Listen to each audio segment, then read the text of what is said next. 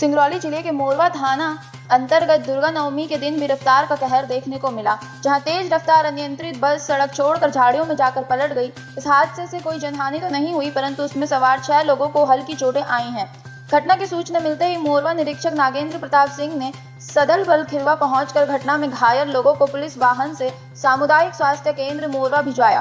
प्राप्त जानकारी के अनुसार सुबह करीब साढ़े ग्यारह बजे चित्रंगी से संगरौली आ रही जय सवाल, बस क्रमांक ए एम पी छियासठ पी ज़ीरो तीन नौ ज़ीरो तेज रफ्तार के कारण खिरवा के पास अनियंत्रित होकर पलट गई। घटना के बाद वहाँ ग्रामीणों की भीड़ लग गई। आनंद फानन में इसकी सूचना पुलिस को दे दी गई।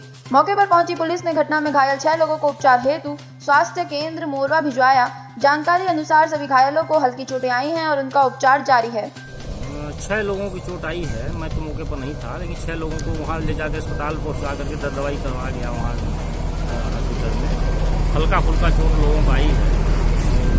ये टेलर को, टेलर सामने से आ रहा था और वो साइड जगह कम थी रोड में और वो पटरी पर ड्राइवर सोचा कि पटरी पर जो है, गाड़ी उतार लें। तो एक चक्का जैसे पटरी उतारा तो पटरी थी ही नहीं वहाँ। और वो झाड़ था, वो जो है जो कुथुआ वगैरह का झाड़ था तो झाड़ में वो सोचा पटरी है, लेकिन पटरी नहीं होने के कारण जो है, चक्का जो है करार से नीचे चला गया।